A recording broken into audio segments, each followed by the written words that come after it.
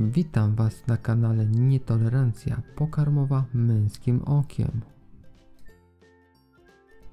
Przepis nie będzie zawierał alergenów, które ikony właśnie widzicie na ekranie.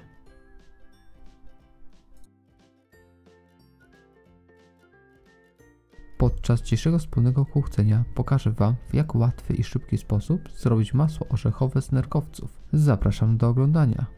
Do jego przygotowania będziemy potrzebowali jednego składnika, czyli orzechów z nerkowca. W moim przypadku było 200 g. Do robota wsypujemy orzechy nerkowca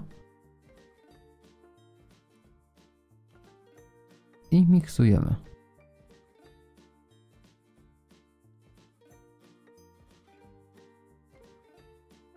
Trakcie orzechy będą nam się osadzać na brzegach naczynia, dlatego też pamiętajmy, aby co jakiś czas przemieszać nasze orzechy, aby nam się dokładnie zmiksowały.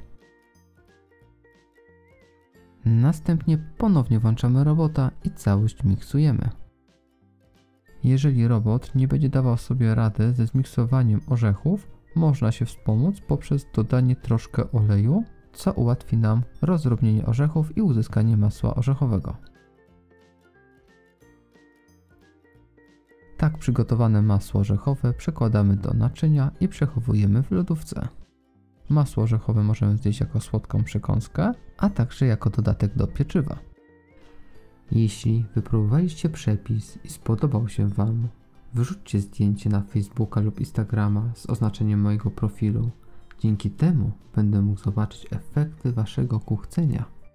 Masło orzechowe możemy wykorzystać do zrobienia nutelli, a także do zrobienia krówki, do którego przepis pojawi się jeszcze dzisiaj na moim kanale.